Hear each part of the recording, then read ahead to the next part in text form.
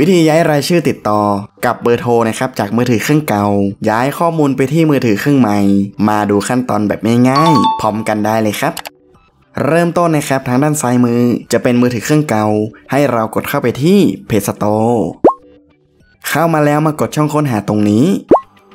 จากนั้นให้เราพิมพ์ รายชื่อติดต่อ พิมพ์ตามนี้เข้าไปได้เลยครับ นี่นะครับ เมื่อพิมพ์เสร็จแล้วให้เรากดเข้าไปที่รายชื่อติดต่อ จากนั้นนะครับมันจะเจอแอป รายชื่อติดต่อขึ้นอยู่แบบนี้ จะเป็นตัวนี้นะครับ ถ้าเพื่อนๆนะครับยังไม่ได้ติดตั้งลงในมือถือ ก็ทำการกดติดตั้งได้เลยนะครับ เมื่อติดตั้งเสร็จแล้วให้เรากดเปิดได้เลยครับ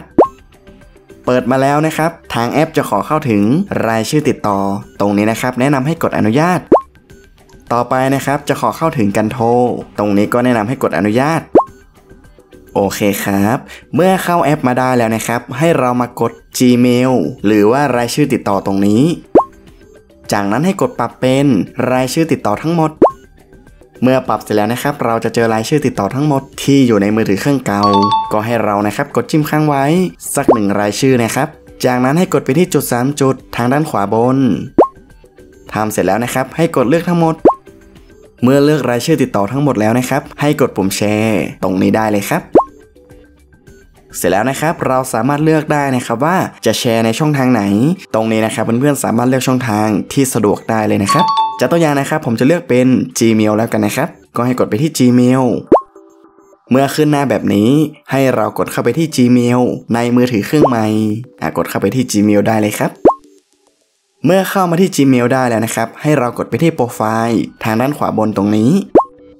เสร็จแล้วนะครับ ให้เราป้อน Gmail ที่อยู่ในมือถือเครื่องใหม่ จะอยู่ด้านล่างตรงนี้เนาะ ก็ให้นำมาพิมพ์ในช่องถึงตรงนี้ ให้ถูกต้องนะครับ เมื่อพิมพ์เมลที่อยู่ในมือถือเครื่องใหม่แล้ว ให้เรากดส่งได้เลย โอเคครับ ต่อไปนะครับในมือถือเครื่องใหม่ ให้เรากดกากบาทตรงนี้ออกก่อน จากนั้นให้กดไปที่ขีด3ขีดทางด้านซ้ายบน และกดเลือกกล่องจดหมายทั้งหมด ทีนี้นะครับเราจะเจออีเมล ที่มือถือเครื่องเก่าส่งมาให้เราเนาะก็ให้เรานะครับกดเข้าไป เข้ามาแล้วนะครับ เราจะเจอไฟล์ vcard ขึ้นอยู่แบบนี้ ก็ให้เราทำการกดดาวน์โหลดลงในมือถือได้เลยครับ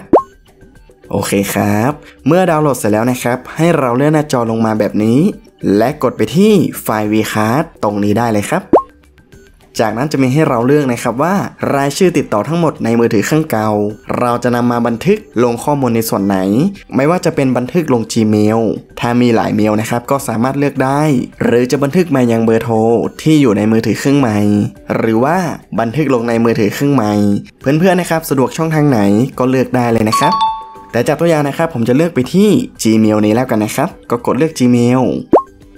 จากนั้นนะครับ ให้เราเลื่อนหน้าจอลงมาแบบนี้ เสร็จแล้วนะครับ ถ้าขึ้นสถานะว่านำเข้า VCard เรียบร้อยนะครับ ก็ให้เราออกจากหน้านี้ได้เลยครับ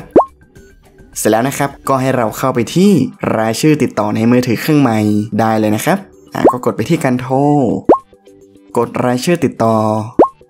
นี่นะครับ เมื่อทำตามทุกขั้นตอนแล้วนะครับ รายชื่อติดต่อทั้งหมดในมือถือเครื่องเก่า ก็จะถูกคัดลอก และย้ายข้อมูลมาที่มือถือเครื่องใหม่ เสร็จเป็นที่เรียบร้อยนะครับ เพื่อนๆนะครับสามารถทำตามทีละขั้นตอนได้เลยนะครับ โอเคครับ ก็หวังว่าคลิปนี้จะเป็นประโยชน์ให้กับเพื่อนๆนะครับ แล้วพบกันใหม่ในคลิปหน้านะครับ สวัสดีครับ